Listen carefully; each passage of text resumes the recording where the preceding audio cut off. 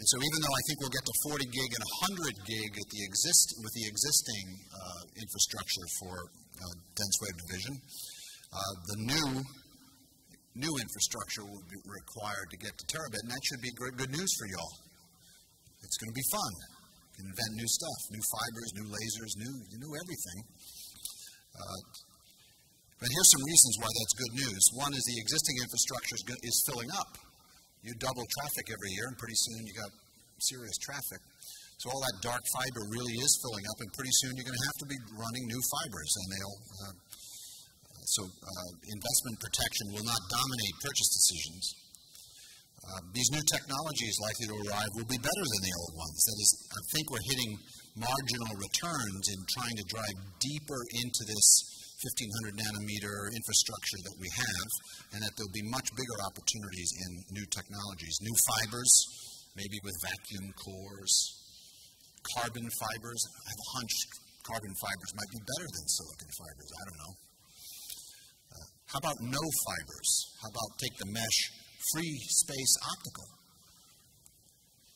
How about, as you just said, no OEO, but OOO? Moving things along. So, when will this all happen? That's actually the hardest question on the table today. When will terabit Ethernet arrive? There are some people who, if you do Google, as I do every seven times a day, if you do Google, you'll find that terabit Ethernet has been here for some time, and of course, that's a matter of semantics. Then there are some people who think it will happen sooner, like Ray Kurzweil believes in, in his book, uh, the singularity is near. We're all on these exponentials, and everything is happening at an accelerating rate. So, however long it took us to go from 10 to 100, it's going to take less to go from 100 to 1,000 gigabits. Then there are some people who say terabit is going to happen later. These are the um, bubble phobic pundits who are afraid to be enthusiastic and um, perhaps extravagant in predictions. Certain vendors will be slow, and then um, who knows? Maybe the carriers would prefer it happen later. And then there are people who say it will never happen. I asked Sean Maloney, who's the head of sales and marketing at Intel, when do you think terabit Ethernet will arrive? And he said, never. That was kind of a strange answer, requiring, and I harken back to that memo that I read. It, maybe I should ask him what he meant. And what he meant was never on the volume platform. What he meant was wireless has taken over the last meter, the last 100 meters. So what he meant was terabit Ethernet. You won't actually run a terabit Ethernet fiber into your cell phone. That there, there are wireless solutions. And of course, the one he's promoting is WiMAX, which he promises um, to save the day this year, if not next.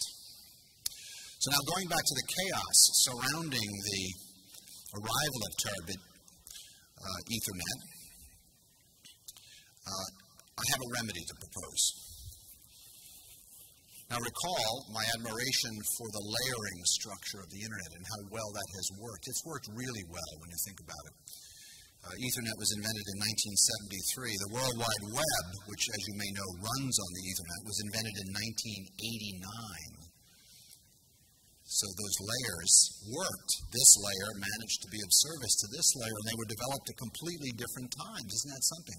It's also true that Tim Berners-Lee, when he did the web, didn't imagine Google would happen. And there's so, you know, Ethernet, Internet, Web, Google. Those layerings really work well. Um, so that's the remedy. That's the remedy for dealing with the chaos getting to terabit. Uh, so maybe it remains to be seen whether OC 768 is the last SONET. I don't know. I've heard a lot of people say OC 768 40 gig is the last SONET, and that means we'll never hear the word OC 3072, which would be the next step. Is anyone selling OC 3072 yet? Well, I could be wrong, but let's, let's be alert to whether there ever is an OC 3072. So let's say Ethernet 1, and we're now going to 40 gig E, 100 gig E, terabit E. Uh, Ethernet has a problem. First of all, we're facing what you all call impairments that we have never faced before. I mean, I could launch a pulse down a piece of coax for a mile. I don't stand a chance of launching an optical pulse 3,000 kilometers down one lambda I don't stand a chance. So Ethernet has to confront the fact that dense wave division multiplexing is inherently a harder problem. So um, the smart Alex in the Ethernet world have a comeuppance ahead. But something else has changed also. The traffic has changed. As I mentioned, voice, video, and data, television, telephone, and internet have all converged or are converging. Uh, Ethernet was not designed to carry video. So video has very high speeds at long distances, requires quality of service, and, and maybe you're not noticing, but it also requires latency. There, there's different kinds of video, not just television. Television has no latency problem. You know, you lose a, an hour, you don't miss that much. So you can download video, which requires capacity. You can stream video, which requires quality of service, or you can do interactive video, which requires low latency. So Ethernet has to, is now as it's confront as it's taking over the dense wave division. Uh, I mean, maybe it isn't, but it sounds like it's taking over dense wave division. It has to figure out how to do these high speeds with high QoS and low latency. And Ethernet has not been good at that in the past. So what we need now is to re-architect the internet. And there is an effort at the National Science Foundation on that right now uh, called GENI. You know, what would a new internet look like?